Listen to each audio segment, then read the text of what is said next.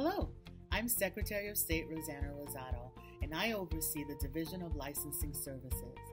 When your business was closed to help save lives during the COVID 19 health crisis, I know that you faced hardship and uncertainty. During the closure, appreciation for our appearance enhancement professionals grew for many New Yorkers, myself included. Thank you for your sacrifice. As you reopen your doors to your clients, New York State wants to be sure that you are successful and everyone remains safe. Please follow the requirements in New York State's guidelines. Practice social distancing, wear your mask, wash your hands, and disinfect work areas. This will help to keep us all safe.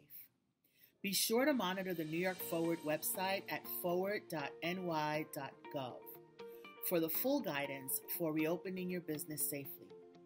If you have questions, please call the Division of Licensing Services at 518 474 4429. Together, we can reopen smartly and stop the spread.